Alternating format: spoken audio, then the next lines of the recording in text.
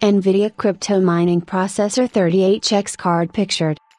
The first NVIDIA CMP, crypto mining processor, 30HX card from Gigabyte has been pictured and it closely resembles that of Gigabyte's GTX 1660 Super OC 6G.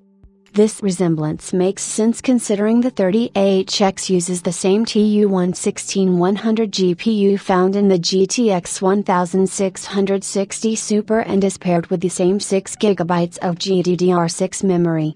The NVIDIA CMP 30HX features a TDP of 125W and achieves a hash rate of 26 mH. S in Ethereum mining similar to that of the RTX 3060 with its anti-mining algorithm.